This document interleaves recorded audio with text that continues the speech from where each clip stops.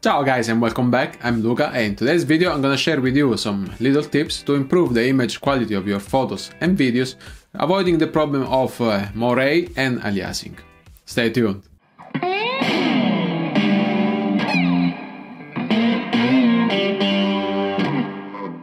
These problems are caused by a digital sensor that doesn't have an optical low pass filter or an anti-aliasing filter. For example, my Panasonic Lumix S1 doesn't have this filter, but I never really had any problem with moiré or aliasing and I'm gonna explain you why and how avoid these problems. The first tip I can give you to avoid moiré and aliasing is to use a diffusion filter. So this filter with all these little particles inside the glass is absorbing some light informations that they're not gonna hit the sensor.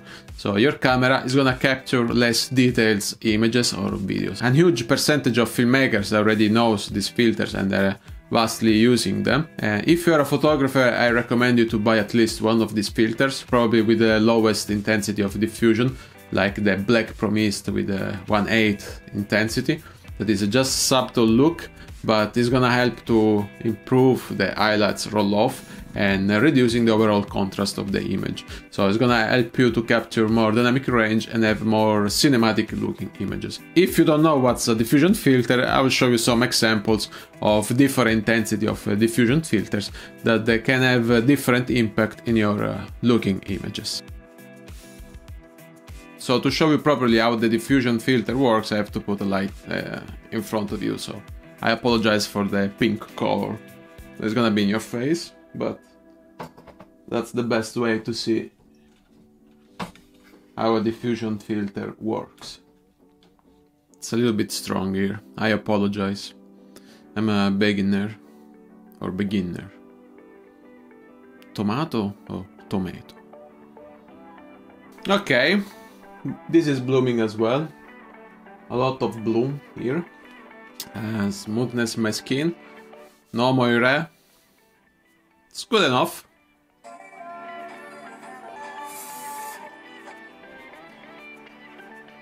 Diffusion. With a UV filter of, uh, I don't know, 15 euros, 15 dollars, 20 Canadian dollars, 20 Australian dollars. Another tip I can give you is to use old vintage lenses. These lenses can be found for really cheap prices, uh, also below 100 bucks. And the reason why you want to use these lenses is because they are not designed to render up to 6K or 8K resolution video or photos. So the overall image quality is gonna be less sharp than uh, modern digital lenses. The last tip I can give you to avoid these problems is to capture your videos or photos with the highest resolution possible. So for video with 20 or 24 megapixel sensor cameras like all the cameras are now in the market, uh, avoid to film in Full HD or in crop mode. Stick with the 4K resolution videos, because in this way the moiré and the aliasing are gonna be more compressed in a higher pixel density image. And for photography, if your camera is able to record in high resolution mode or the pixel shift, use that function because you're gonna get a better and bigger RGB readout of your sensor and you're gonna have more RGB information. So you're gonna avoid the problem of uh, moiré and aliasing. Some bonus tip. If you don't want to spend any money at all and you want to shoot with what you have, there are two extra options you can consider to avoid these problems.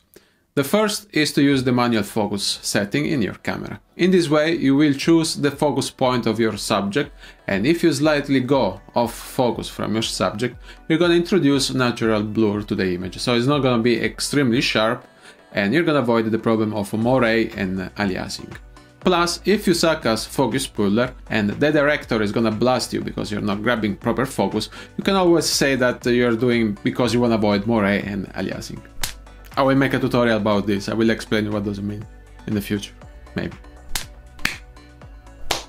The second tip I can give you to avoid this problem completely for free is to use the diffraction of your lens. Generally speaking, the diffraction starts to kick in around f13, 14, 16, depends from lens to lens and overall image quality is gonna be softer and we're gonna avoid the problem of moiré and aliasing. So this is it for today guys, I hope that this video was helpful and uh, if you already know all these informations maybe this wasn't the video for you, uh, maybe it's better to go out and shoot more instead of uh, wasting your time on YouTube.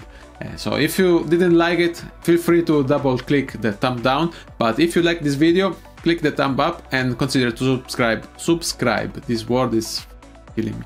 Subscribe to the channel. Thank you for watching and I'll see you next time. Ciao! Almost forgot the sponsor.